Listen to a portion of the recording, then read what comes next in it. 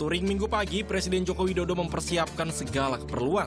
Mulai jaket, helm, sampai surat-surat kendaraan, semuanya lengkap.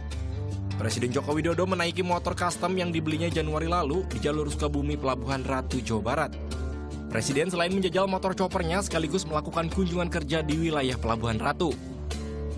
Dua desa nanti yang di situ ada padat karya tunai. Kita ingin ngecek padat karya tunai biasanya pakai mobil, ini separuh jalan kita pakai apa?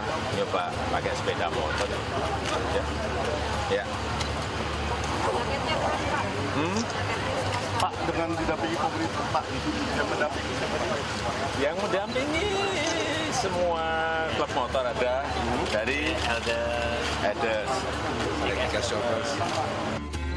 Presiden touring bersama sejumlah menteri dan puluhan anggota komunitas motor dari berbagai daerah.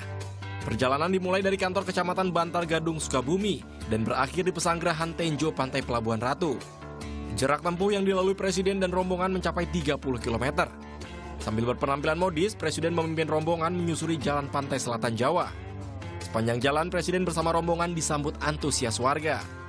Setelah menempuh perjalanan selama 3 jam, akhirnya Presiden dengan motor yang dibelinya seharga 140 juta rupiah sampai di Pelabuhan Ratu. Tim Liputan melaporkan untuk NET.